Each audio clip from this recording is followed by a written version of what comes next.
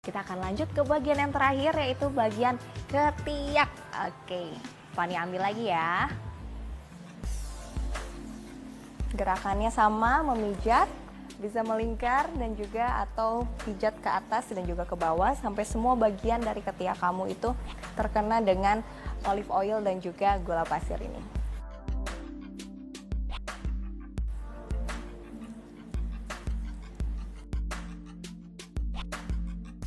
Oke ladies, sekarang kita akan kembali ke sisi sebelah kanan ya.